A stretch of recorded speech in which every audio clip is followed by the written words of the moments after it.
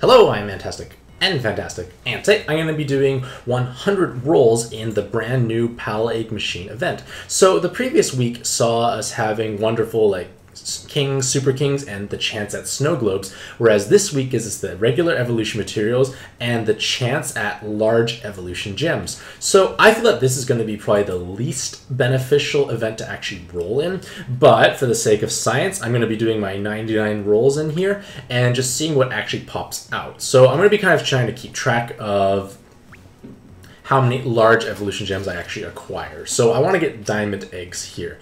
Now, if you're not in danger of capping out, which is, should be the majority of the player base, I would not. Oh, it's a gem.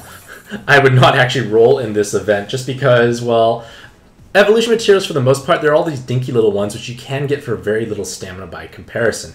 And in all honesty, the pluses and the Tamadras that are coming up in the subsequent weeks are much higher value overall, in my opinion. But of course, individual needs may fluctuate and vary.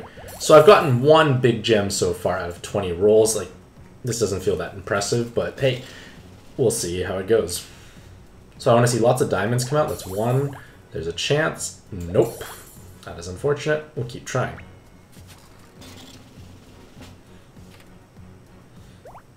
Alright.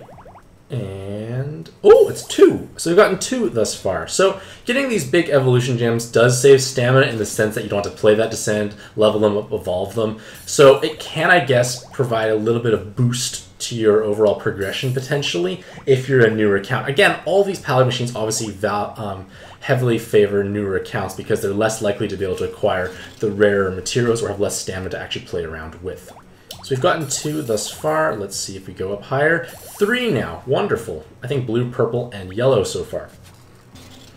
But But again, if you are able to farm the higher descends or the harder dungeons, you can technically acquire a lot of those large evolution gems dropping evolved. I just basically aced all of Wednesday, no, Thursday dungeon, getting all three of the big fruits, which is interesting.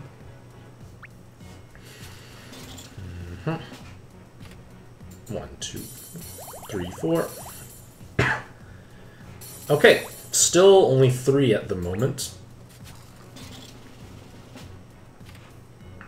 Okay, let's see how this goes. Something happy.